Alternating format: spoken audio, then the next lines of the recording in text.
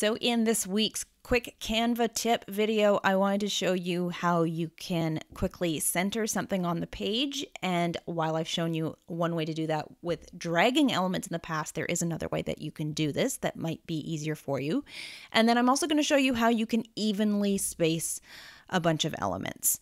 So let's start with the centering. So typically what I tend to do is I like to drag things and I can drag them to find the center like so but sometimes it can be a little finicky. And really, the fastest way to do it is to select your item, come up here to position, and then you can align it to the middle of the page, and then you can center it. And boom, it is right in the middle. So play around with this positioning if you haven't done so before. You can also align things to the top, quickly to the bottom, to the right, to the left. So this allows you to kind of get very precise with the alignment on a page. Let's go back to the middle.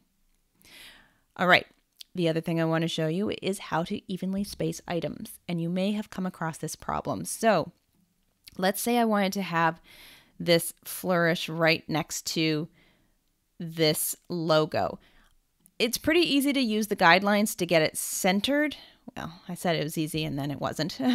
but if you play with it, you'll sometimes see that there's that middle line that comes up. So I can get fairly centered that way if I was dragging it. But then you have the problem of making sure that things are evenly spaced. So even though I might be trying to get it just as close as possible by eyeball, it may not be quite even. And there is a faster way to do this. So if you want to evenly align items, simply select the three items or however many items you want to align and then come back up here to position like we did for centering. But when you have multiple items selected, what you'll see is there's a new option, space evenly.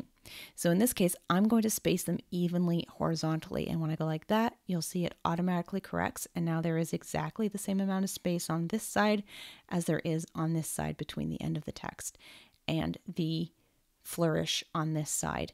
And then you could group all of them. And then you could quickly go to position. And again, you could center it like that way and center it that way to get it smack in the middle.